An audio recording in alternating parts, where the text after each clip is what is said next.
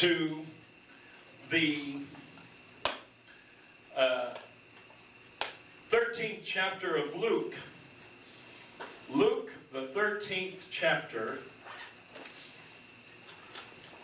beginning at verse 1, and we're just going to read tonight through verse 5. Luke chapter 13, verses 1 through 5. This tonight is just a very simple word of exhortation. We've had such a full day and an active day today. We stand in honor of the reading of God's Word, and I read tonight, of course, from the King James text. There were present at that season some that told him, meaning Jesus, of the Galileans whose blood Pilate had mingled with their sacrifices. And Jesus answering said unto them, Suppose ye that these Galileans were sinners above all the Galileans, because they suffered such things?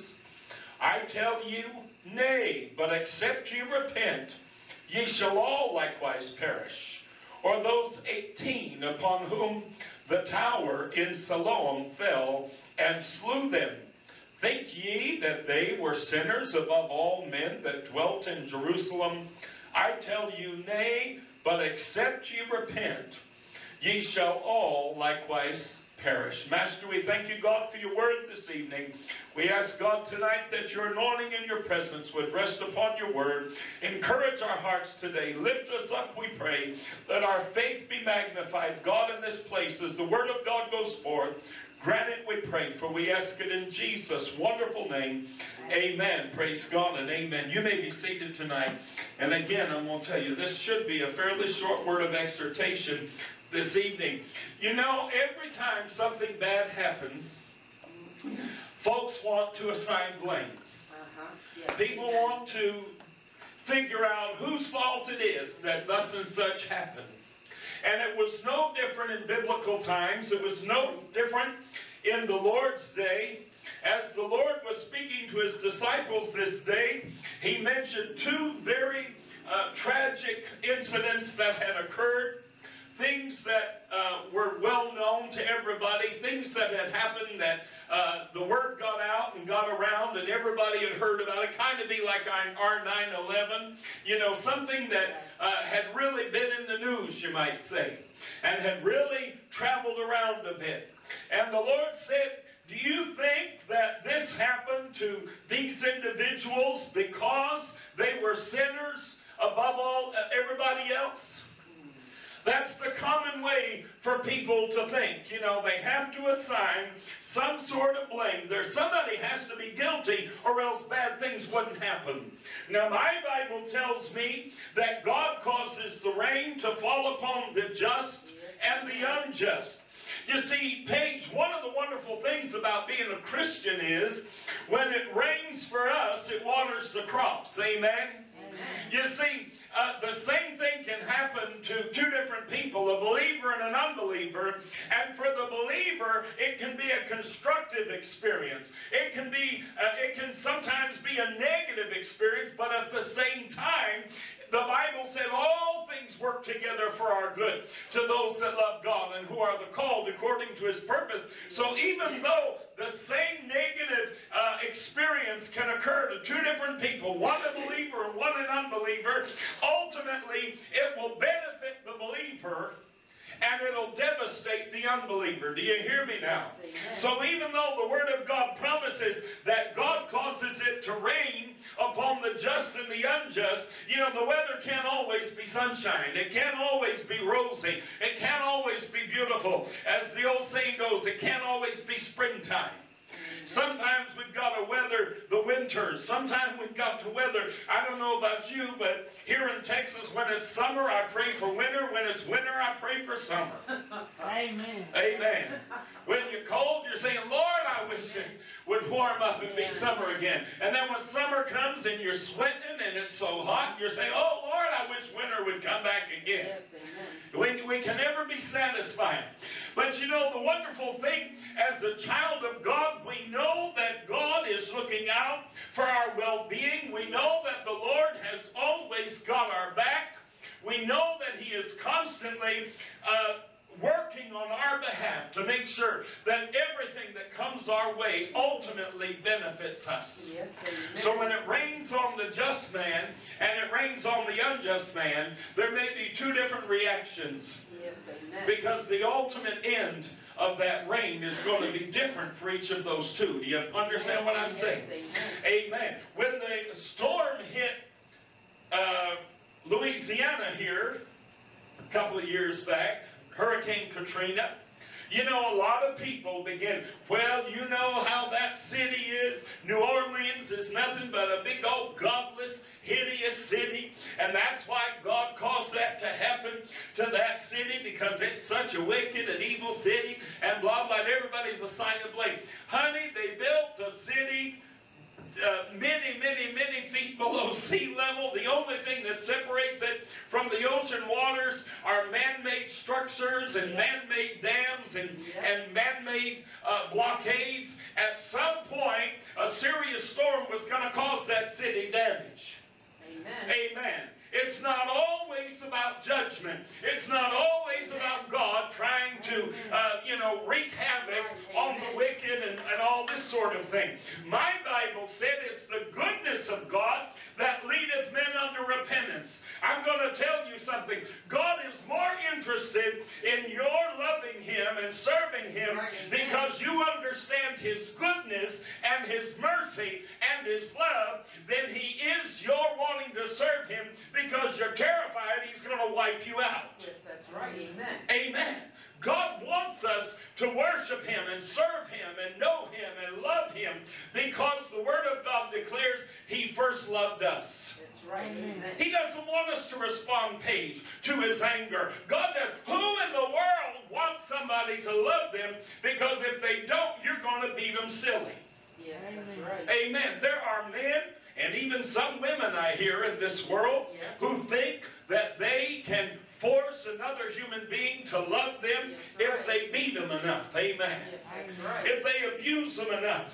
And you know that the relationships that are born out of this kind of a uh, of a situation are not healthy. They're not good relationships. They're not beneficial. They're not positive. But I'm here to tell you, a lot of churches tonight have a whole lot more people in them than ours does. And the reason is because a lot of people that are there tonight because they're terrified of God. Hello now. That's right. The preacher spends more of his time, Tommy, trying to preach fear into the heart of his hearer than he does preaching the love of God. That's right. Amen. Amen.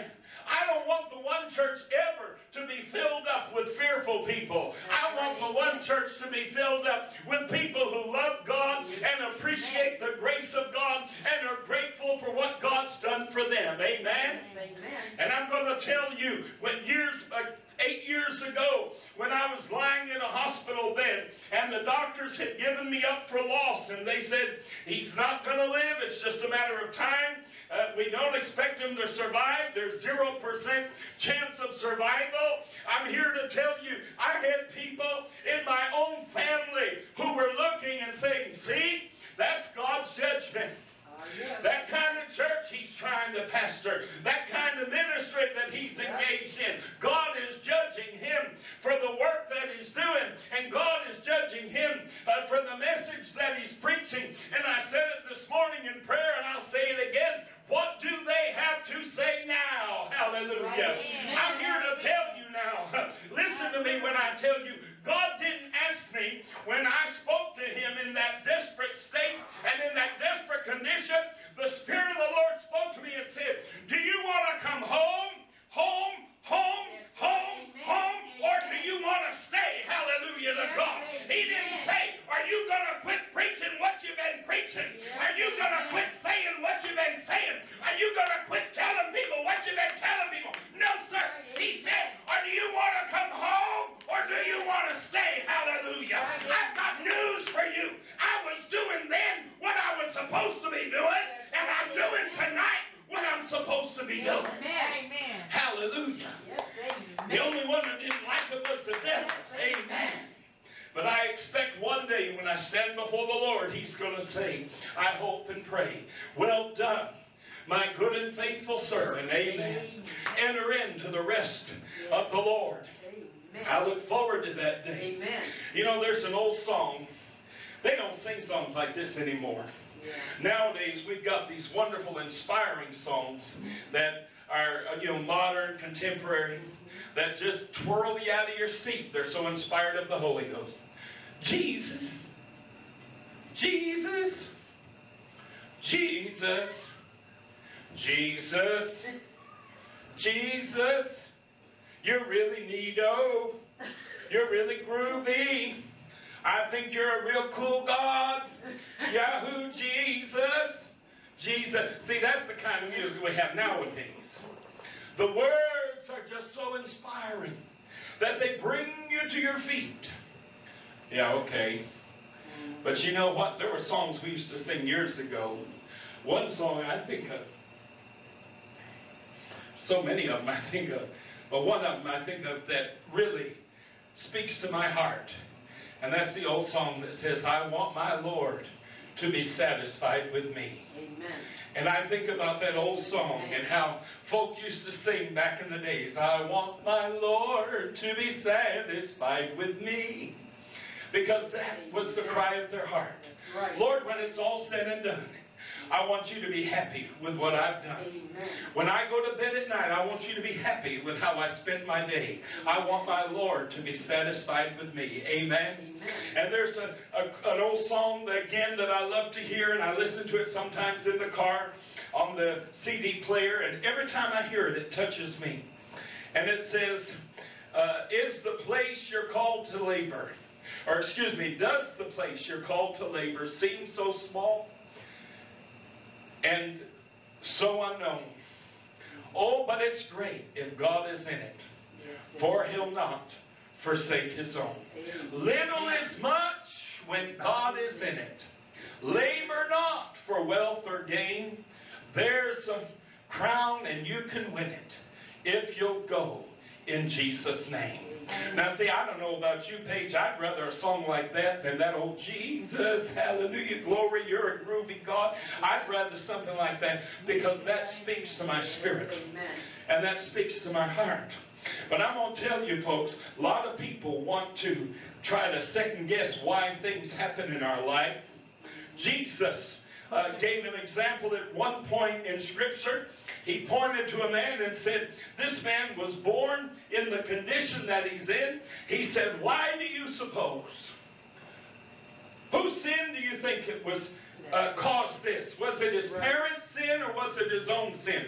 Well, first of all, he was born in that condition. So it's not likely that it was his own sin. Said, well, whose sin do you suppose? And then he answered and said, I'll tell you what, it wasn't neither. He said, this man was born this way for the glory of God. Say, God had, I allowed this man to be born this way so that at this moment in time I could do something wonderful and miraculous for him and at the same time show y'all something. Amen. I'm going to tell you today, we, we want to assign blame. We want to find out whose fault is it and why is this happening. It's happening so that God can prove himself wonderful, so that God can show his love, so that God can show his mercy. I'm going to tell you, my grandmother was probably one of them at the head of the line thinking to herself, well, I know this is God. God just ready to take him out of here because he ain't doing right. Yeah, that's right. She had that old critical, judgmental attitude. And I'm going to tell you, my grandmother looked me in the eye with tears streaming down her face after I got out of the hospital and said to me one time, she said, I'll tell you one thing.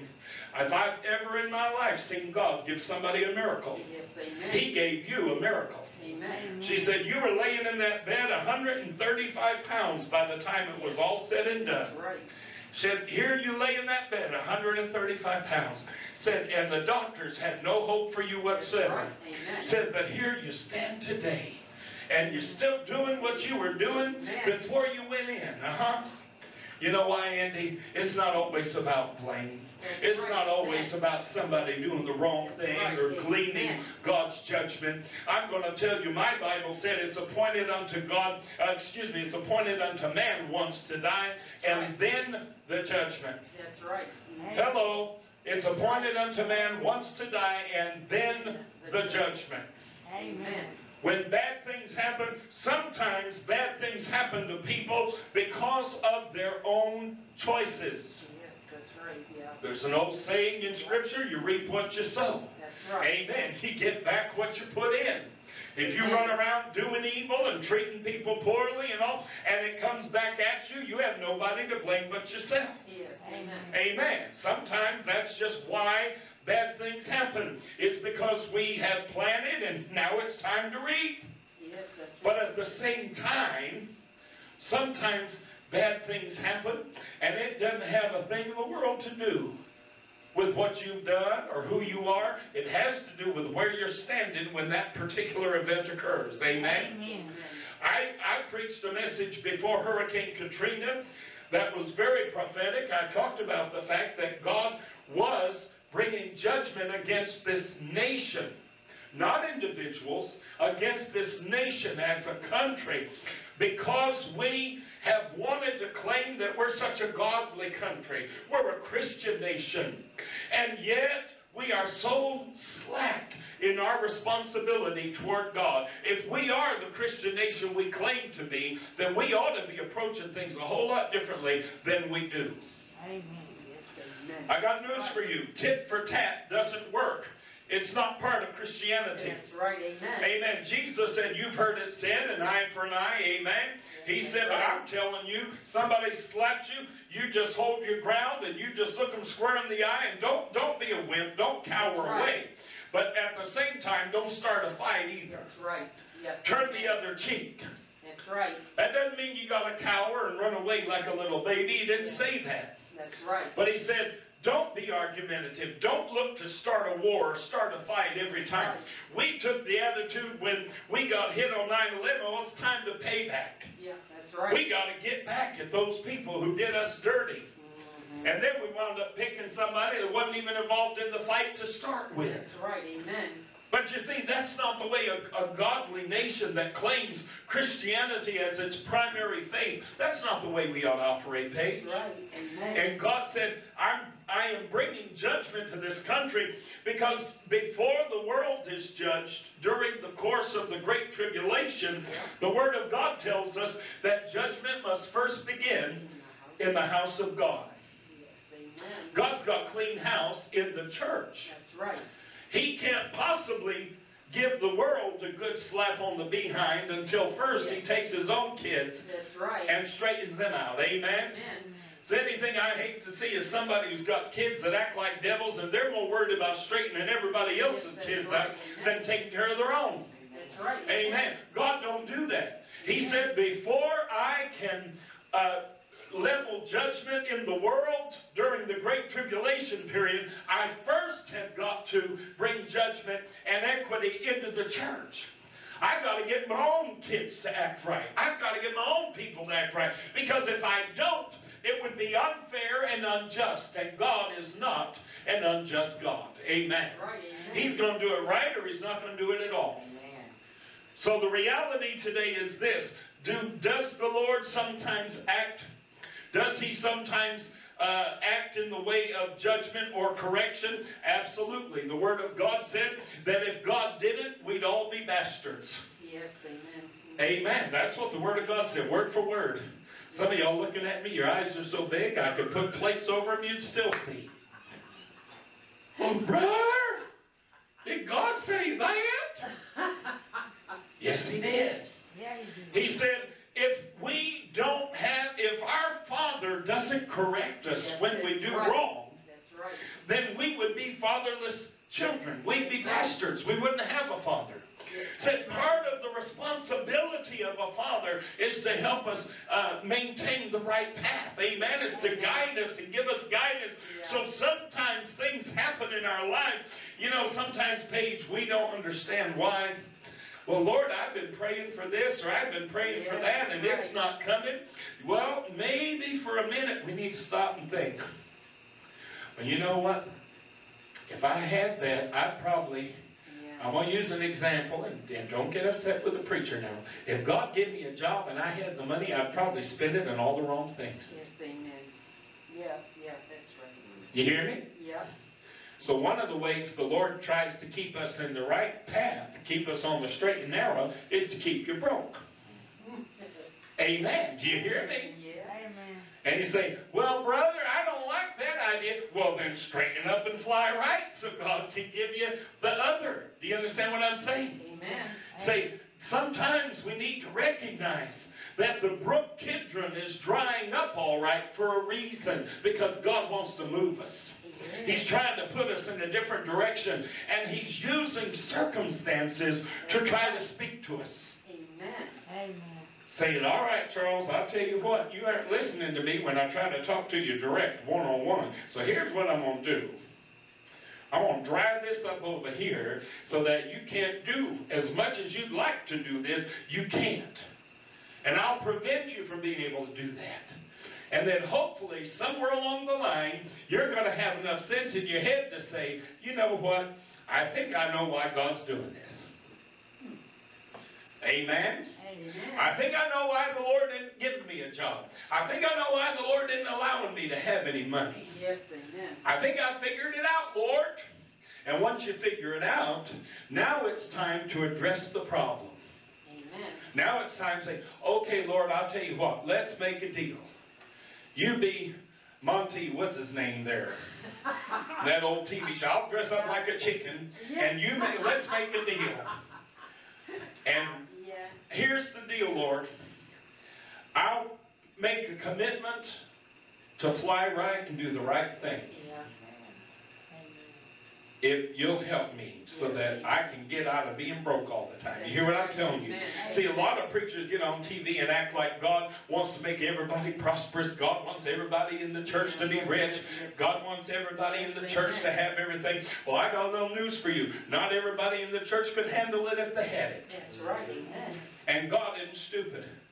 If an earthly father isn't dumb enough to give a kid don't know how to deal with money, a hundred or a thousand dollars, why in the world would God? Yes, amen. Amen. My Bible said God gives to every person according to their ability to receive. Yes, that's right. But Paige, if you're not going to know what to do with it, or if you're going to do the wrong thing with it when you get it, Yeah. I God's not going to give it to you. Yeah. I do the right thing now. Amen. so we need to make a commitment. We need to make up our mind and say, you know what? If the Lord opens up, and I'm going to tell you, you don't want to break a bargain with the Lord. That's right. I never have. Amen. You don't want to break a bargain with the Lord. You you start making deals with God. The Bible said, don't vow a vow. That's That's right. right. Because you, you haven't got the power to change one hair of your head a different color. The Word of God tells us don't, don't vow a vow. The Roman Catholic Church come along and created what we call wedding, what? Vows. Yes, that's right. Yep. And yet the Word of the Lord tells us don't vow a vow. Because honey, if you vow a vow and you don't keep that vow, you're going to stand responsible to God for it. Amen. So don't be bartering with God. Say, well, Lord, bless God, if you'll give me a job and I can have some money, I promise I won't spend none of that money on booze. And then first thing you do with your paychecks, run down to the liquor store to cash it. Yeah. Hello. Amen. Amen. Amen. You don't want to make that mistake. Lord, I won't use drugs if you'll give me a job. I promise, Lord, I won't do it. And you go cash your check, and before you leave the PLS, you're talking to the nearest pusher. Yeah, that's right. Come on now. Preacher's being honest. Yeah, yeah. Trying to tell you, what am I trying to tell you tonight? I'm trying to tell you how to get out of the hole yet. Yeah. I know how to get out. Amen. You gotta make, you I know how gotta, to use my money wisely than I used to. you gotta, that's right, you gotta make a commitment to do the right thing, and then maybe you better stick with it. I do stick. You gotta make a commitment and say, I'm gonna do the right thing, and I'm gonna, Lord, if you'll open this door for me, I'm gonna do the right thing. Amen. Yes, Lord. Amen. Say, well, brother, why are you talking about all this? I'm trying to help you understand why things sometimes happen the way they I do. know. I know. It's not that God's judging us. It's not that God's chastising us. Let me tell you, it's not God's anger that's doing it, Paige. Yes, It's amen. God's love. Amen. Yes. He's amen. keeping us out of trouble. Amen. He's keeping us from making a bigger mess than we've already Yes, made. Amen. So it has nothing to do with the anger of God, has nothing to do with the Lord's uh, wrath or his uh, right. anger. It has to do with his love. He's saying, right, "Uh, you know what? I'd love to be able to trust this one with this, but I can't yet. That's right. That's So right. here's what I'm gonna do. I'm gonna hold off on it for a while. Amen. Amen. I'll tell you, I've learned in my life, it's hard to learn. Lord have mercy. Yes, amen. It's, I've learned things that took me so long. I'm sure God was in heaven thinking, I'll tell you, that boy will be dead a thousand years before he figures this one out. He'll be sitting up here in heaven at a Yeah. desk saying, well, you know, I don't quite get it yet. Andy, I'll be listening to the angels sing for 10,000 years, and all of a sudden you're going to hear me down the corridors of heaven say, Oh, I get it now. Me too. Because it, sometimes things just can't get through this thick skull of mine. You know what I'm talking Amen, about? Amen. And but I've learned honestly in serving God as many years as I've known the Lord, I've learned, Paige, that God is sincerely speaking through circumstance. Yes, amen. Our circumstances are not completely, totally out of His control. We sit there and say, Oh Lord, change this, change that. But you know what? What we need to do is say, Lord, what are you trying to tell me? Yes, amen. What is this circumstance trying to tell me? Yes, Amen. Amen. Are you trying to tell me, maybe, that if, if you give me a little, I'll go hog wild crazy off here and buy myself a Rolls? When I should be looking at a Volkswagen? Yeah. Do you hear what I'm telling you? Amen. I still am learning lessons when it comes to finances and, you know, how to handle money and all. See, I'm not one of them preachers, Andy, that claims to be perfect at everything. Amen. I, I wished I could be one of them, but I'm just not.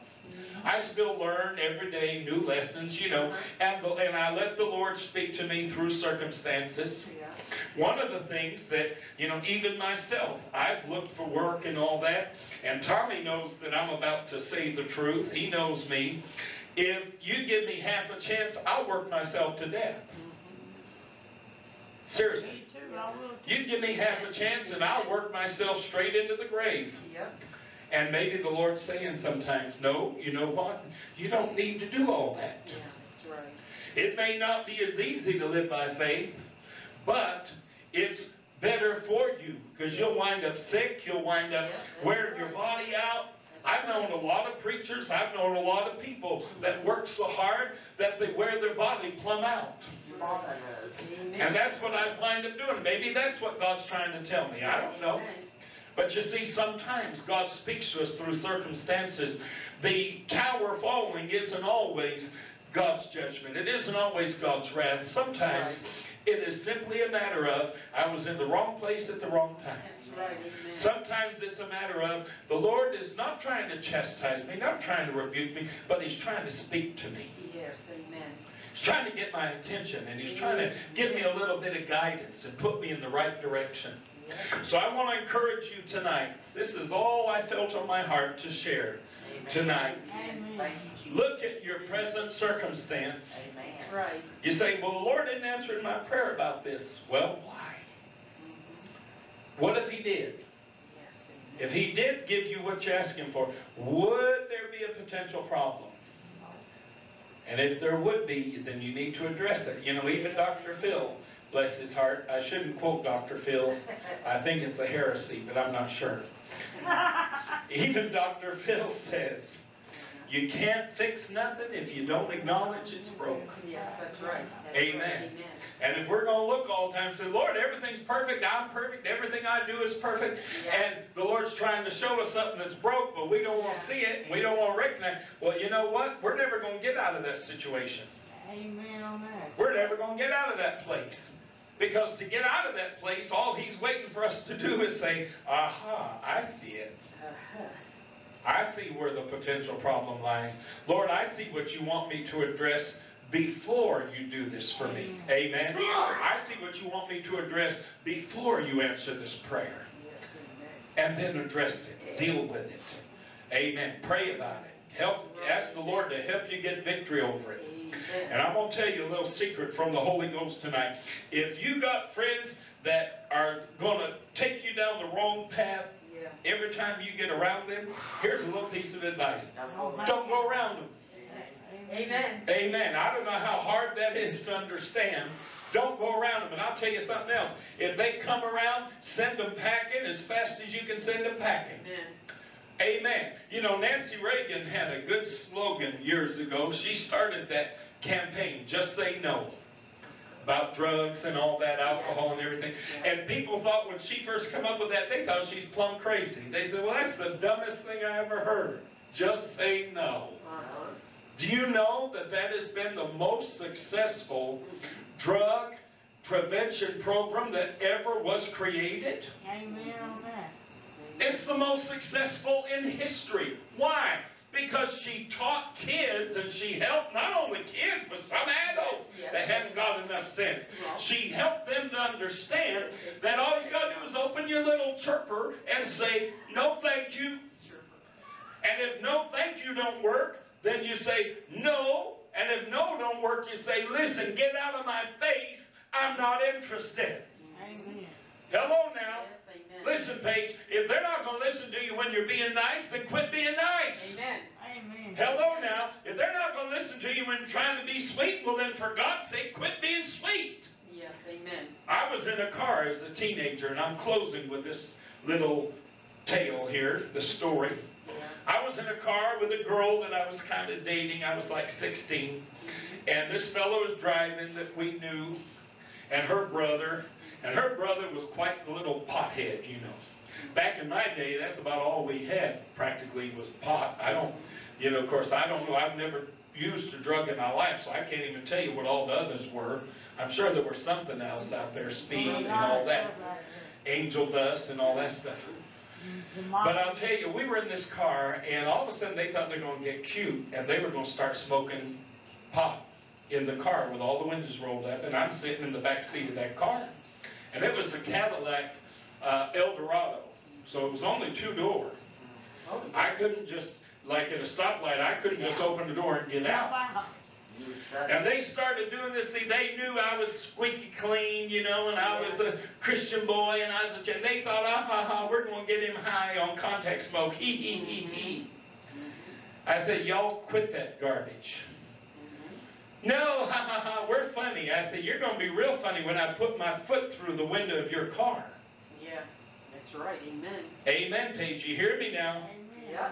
Now, I try to be nice, but after, if once nice don't work, it's time to quit being nice. Yes, amen. Amen. If you're going to do the right thing and keep yourself where you need to be, sometime you got to learn to get ugly. Hello now. Yes, amen. If that's what it takes, then that's what you need to do. And I literally said, I said, I'll tell you what, I'm going to give y'all 10 seconds to put those things out or my heel goes right through the window of this car. And I meant it with every ounce of my being. I'd have knocked that window right out of that car. Wouldn't have thought twice about it, and Andy wouldn't have felt sorry neither. That's right. You want to act the fool, act the fool on your time, but you're not going to bring me into something I don't want to be in. Right, amen. Amen.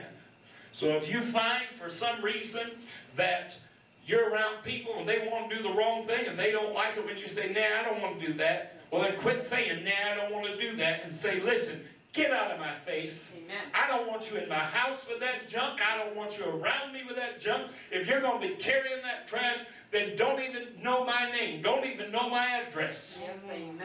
Hello now. Amen. I had a birthday party in New York City years ago, and one of my guests, a fellow I knew in New York, went and carried something to the house that I was not in church at that time.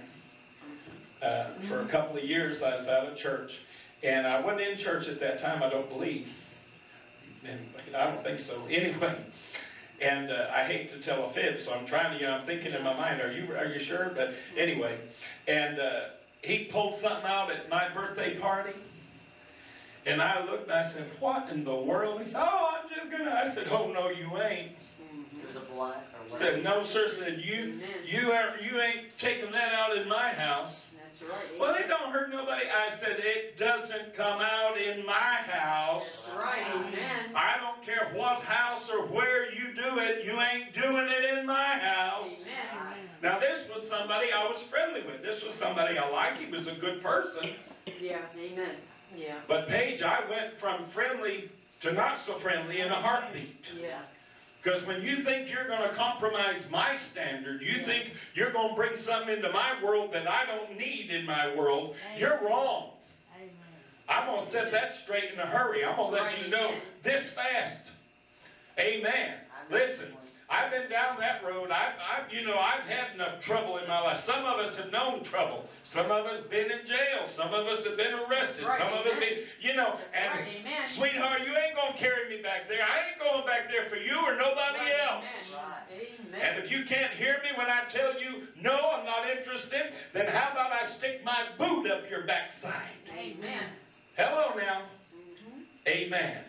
So understand today, Lord, why aren't you answering my prayer? Maybe he's trying to talk to us. Yes, amen. And if he is, well, what are you trying to say?